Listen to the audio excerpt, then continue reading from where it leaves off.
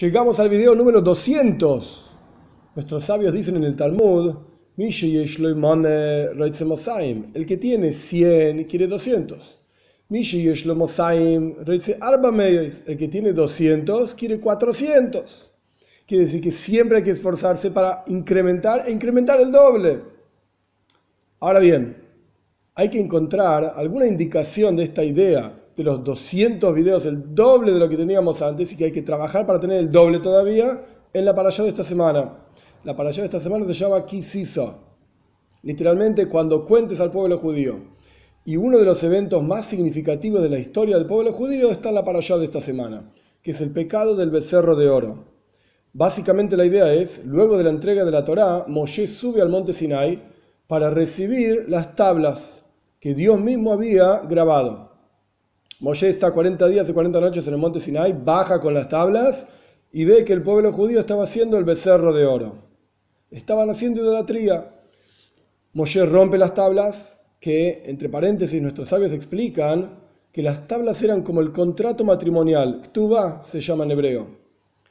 Dios era el Hassan, el novio. El pueblo judío, la Kala, la novia.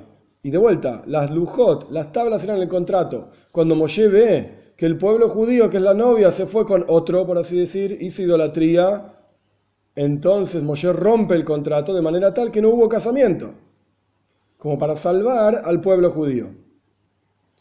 Después de resolver la cuestión del becerro de oro, Moshe vuelve a subir al monte Sinai para tener las segundas tablas, porque al fin y al cabo el pueblo judío había sido perdonado, el pueblo judío reparó, digamos, el asunto del becerro de oro, lo destruyeron, etc., pero no tenían las tablas.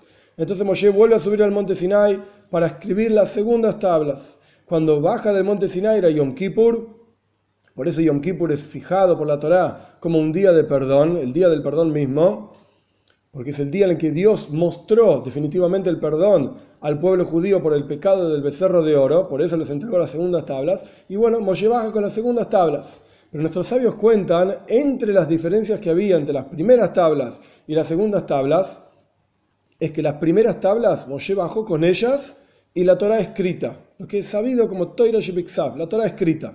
Pero las segundas tablas, Moshe bajó con las tablas, la Torah escrita y la Torah oral, el Talmud, los midrashim de nuestros sabios, las explicaciones, las analogías, las indicaciones.